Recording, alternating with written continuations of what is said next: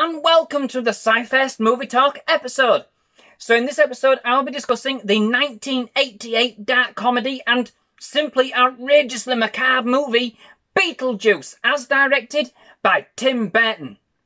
Now, before I get started with my review, I just want to give a big shout out to Music with Dr. Hooper, who actually requested this review quite some time ago. Um, Music with Dr. Hooper, he, he's become quite a good friend um, on YouTube and they offer um, some very interesting and diverse music selections on their channel from classic to jazz uh, to unique arrangements and, you know, even national anthems. It is quite good. So please do check it out. If you have some time, um, yeah, absolutely check out the channel. I will leave a link to the channel in description below and we'll link a Music with Dr. Hooper video to the end of this episode. So, Beetlejuice then. Um, what an absolute corker of a film, you know? Um, we, in the film, we're kind of introduced to Adam and Barbara Maitland, as played by Alec Baldwin, who I had literally no idea was in this film. It, it literally does not look like Alec Baldwin to me, anyway, but that's by the by. And Geena Davis, respectively who are kind of looking forward to their vacation at home, doing their house up, you know, being together. However, after popping out to the shops, something kind of feels a bit different, a bit odd um, when they return home. It turns out, in fact, they didn't quite make it after plunging to their deaths in a terrible freak accident. They are now the recently deceased. Unable to leave their home uh, due to the, the presence of some rather nasty customers outside of the property, uh, they are soon joined by a new family who have purchased the house thereafter Charles and Delia Deetz, um, as played by Jeffrey Jones and Catherine O'Hara, respectively, and their daughter Lydia, as played by Win- Win- uh, Winona Ryder, all tongue twisted, who lives in her own dark world, um, and indeed can see and ultimately befriends the Maitlands. The Deetzes have plans to remodel the house in their own very distinct tastes. Well, rather Delia does, to be quite fair, with the help of a ever cynical life coach of sorts, uh, Otho, as played by Glenn Shadix. However, the Maitlands aren't really keen, um, and so don't really want to share their space with people who are so different. They then set out to do everything they can to scare the Deetzes out of their home. Only thing is, they're terrible at it. In fact, they are that terrible, they're entertaining, and the Deetzes plan to bring them forth using an incantation to perform parlour tricks, to be fair and become the newest tourist sensation. Um, unfortunately, without realising it, this could actually kill them. Again. So, step in Beetlejuice, as played by Michael Keaton, the ghost with the most, a self proclaimed freelance bio exorcist.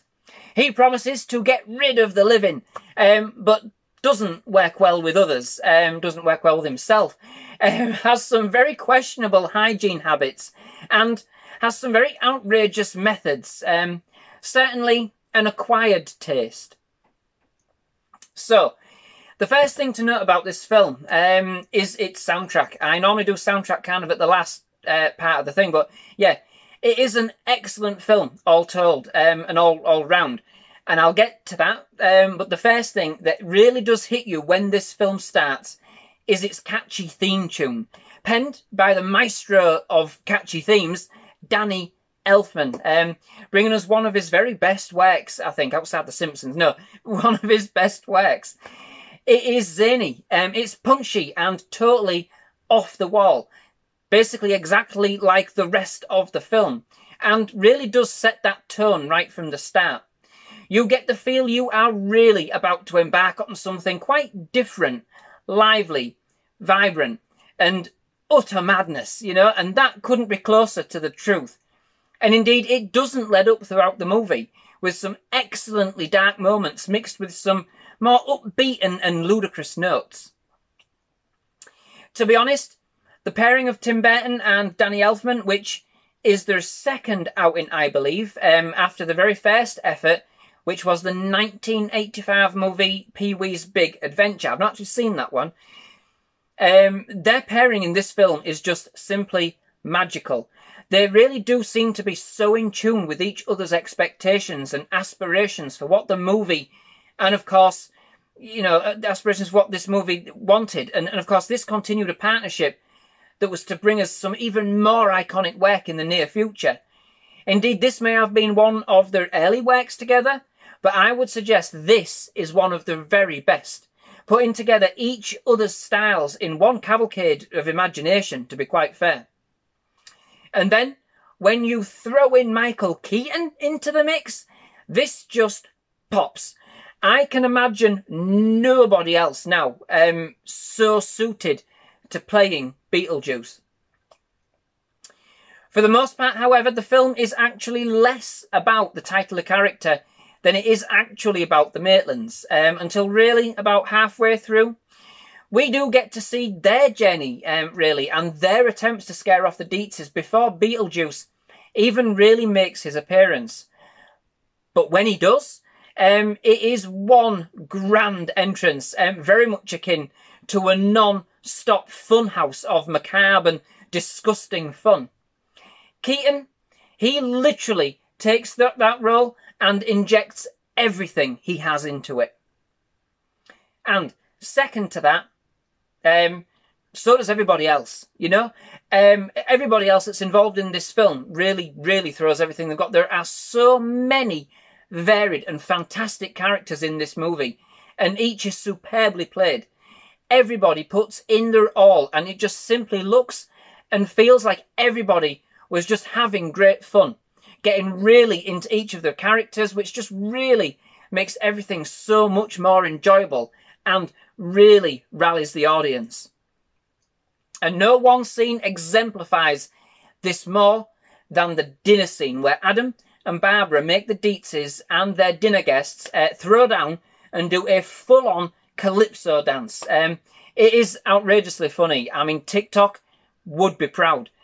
But yeah, okay, it is totally off the reservation, but it is just so much fun. The movie is also a visual treat. Um, I did actually forget um, that it actually included so much excellent stop motion animation. Um, overall, it was an eclectic mix of live action, spectacularly gruesome practical special effects, and indeed quite a bit of some of Tim Burton's stop motion animation, um, you know, staple, you know. The special effects do indeed, you know, they hold up pretty well. Um, the stop motion is absolutely spellbinding. Tim Burton certainly had a vision with this film, and that exudes through the storytelling and the cinematography, bringing us some devilishly delightful, devilishly delightful ideas on what the afterlife and the underworld may look like. Um, very surreal, but very relatable at the same time. Indeed, death does seem to open up a whole new world of bizarre possibilities.